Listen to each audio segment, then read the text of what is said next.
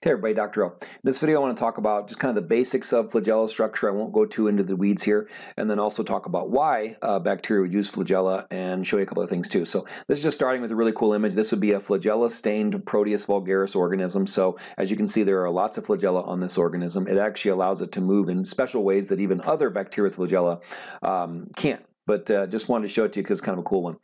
Okay, so here we see the two different types of flagella, and I just want you to note, again, I'm not going to talk about stators and rotors and secretion proteins, but uh, I want you to see that they're different. So I'm going to show you a more close up, but uh, the one thing that all flagella have in common, or the three things they all have in common, so they all have the filament, which is the structure you would think of as the flagella, and they all have the hook, which is what attaches it to the to the basal body, which is where the rotation actually occurs. So that's the key, is that the bacterial flagella uses a rotary motion, and what's really cool about it is um, it's kind of there's some unknowns here, but the the uh, the function or what allows the rotation to occur is a flow of hydrogen ions or protons through through the the flagella, very similar to the way that the flow of protons or hydrogen ions through um, your um, ATP synthase synthase enzyme in the electron transport system produces ATP. So the, the flow of protons causing a rotation is not is not something that only flagella can do. It's used in other places. So I just find that kind of cool.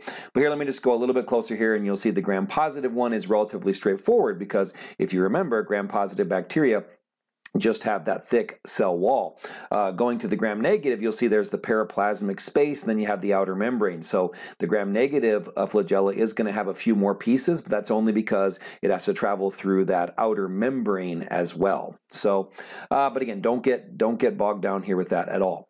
So here's how they move. It's actually be called the run and the tumble, and you see what determines if an organism is running or tumbling is which direction. All these flagella are going to contract together. But first, let's talk about why. Right?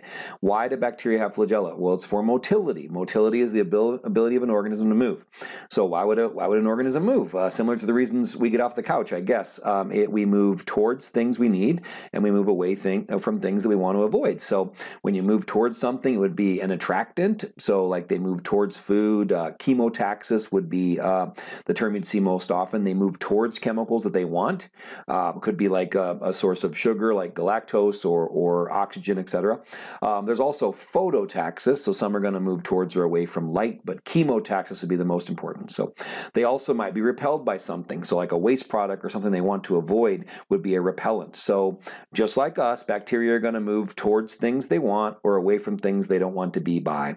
But they use this run and tumble system to do so. So running would be when a, when a microbe, when a bacteria is moving one direction for a relatively long period of time, it would be called a run. And that's going to be from the counterclockwise turning of all the flagella.